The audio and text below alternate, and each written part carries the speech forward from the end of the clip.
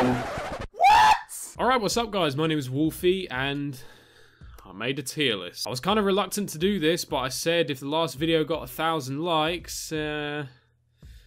yeah, well over 2,000. That's uh, that's that's just disgusting. I tell you what, if you want to see me do more tier list related videos in the future, let's see if we can get another 2,000 likes on this video. So as I said, I've now made my own tier list. I've been looking across quite a few different tier lists, and the trend that I'm seeing, like I said previously, is everyone seems to be able to agree on the top tier. Everyone kind of knows who the best characters are. What people can't seem to agree on is everything else. Apart from the top tier, every list I've looked at has been completely different. It's quite difficult to make an accurate tier list in this game. Everyone has their own opinions about which characters they think are good and bad. Some people think Cosmic Brainz is shit. Other people think he's still really good. Everyone's got their own take on it, so no matter what you do, no matter where you place certain characters, you're going to piss someone off. Didn't even have the glasses on. So I have no doubt that this list is going to piss someone off. Someone is going to see Cosmic Brainz down there in the shite tier, and I'm going to get the usual. Oh, what are you talking about, Wolfy? Cosmic Brainz is not shite, you just have no idea how to play him. And look, do try and keep in mind, this tier list is just my opinion. If you disagree with my opinion,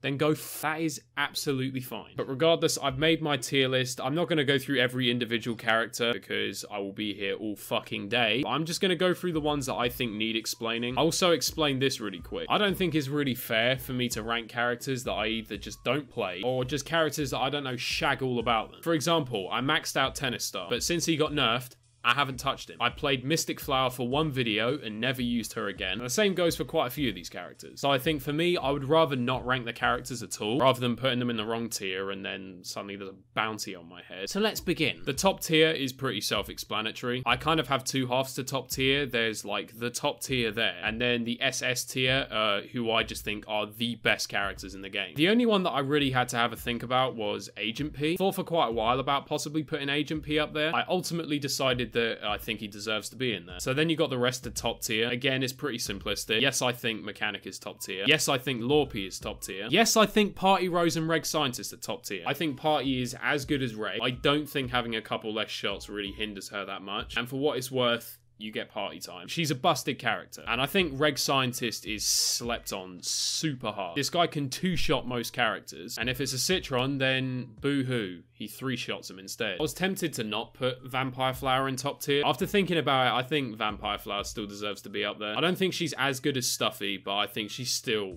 like disgustingly good. I think now she's had a bit of a health buff. I think she's definitely up there. Tier is going to take a bit of explaining. I think Popscorn is hella underrated. Yes, Pinstripe is kind of a shittier version of Kernel Corn. Have you seen how good Kernel Corn is? I think you can afford to have a shittier version of him. People sleep on Hockey Star. Probably has one of the highest DPSs in the game. And now they buffed his overheating as well.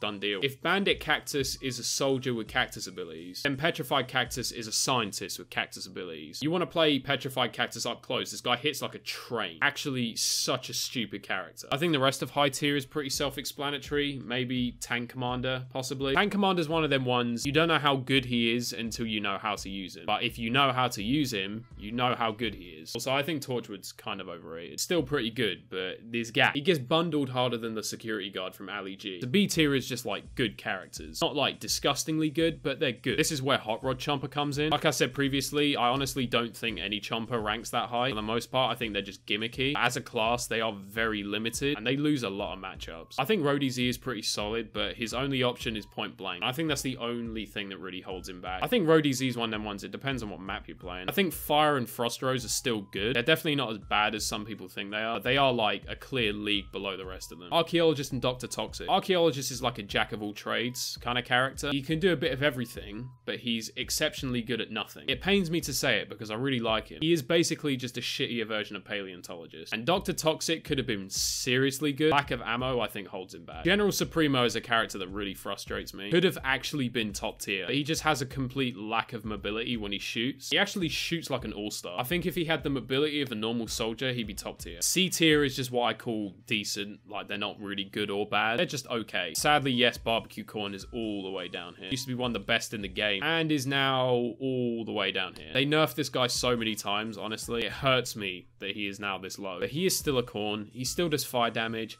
and he still has Husk I can't physically put him any lower than mid tier. I think Twilight and Count are your number two and three for Chompers. Twilight because he's faster, and Count because he's actually got a really good gimmick. And if you couple it with Vampweed, it's even better. So I don't think they're as good as Hot Rod. I think they are like a step above the rest of them. Alien Flower seems to be a character nobody can agree on. Alien Flower is not bad. She's definitely not as bad as people think she is. But I don't think she has a lot of uses outside of turf. She's dangerous in turf, don't get me wrong. But you start trying to take her into other game modes, and it's a bit like, eh, just doesn't really work. Tiberius Toaster, if he could attack in midair, I'd put him higher. That's pretty much the only reason. See, I haven't actually ranked a lot of cacti because I barely play them. Apparently, I spelled usable wrong. I think Jade Cactus is a lot of fun. Definitely one of my favorite cacti. I just think for a cactus, she's quite inaccurate. I think she's usable, but I don't think she's anything special. Yeah, this is where a lot of the chompers start coming in. I did put all the spray chompers a bit lower because I don't really rate them. I think spray chompers are kind of crap. I give Chomp Thing the benefit of the doubt just because of his gimmick. I think that could be quite helpful for him. When they did the whole Citron rework,